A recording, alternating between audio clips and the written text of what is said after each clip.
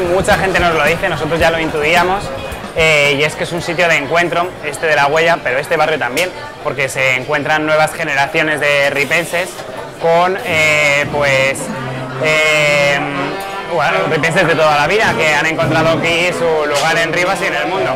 Rivas lo que no tenía es muchos bares increíbles donde la gente joven saliera y además Madrid estaba muy cerca y por eso nos íbamos a Madrid porque estaba al lado.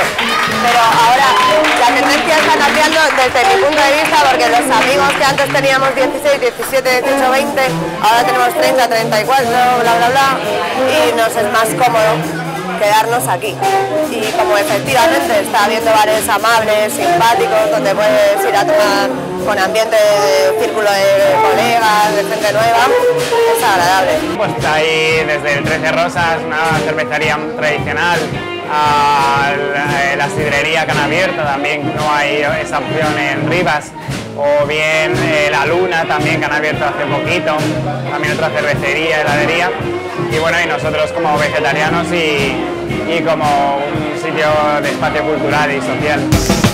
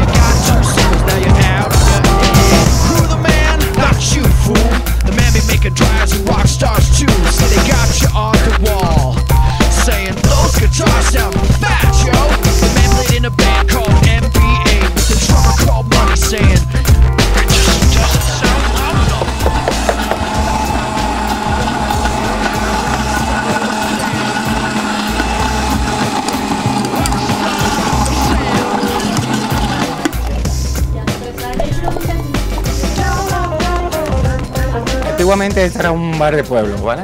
Y yo y mi pareja hemos, lo hemos transformado y hemos convertido esto en un, en un café chilao. Porque ya me lo hemos transformado y es más que todo un poco de playa hemos traído aquí al pueblo.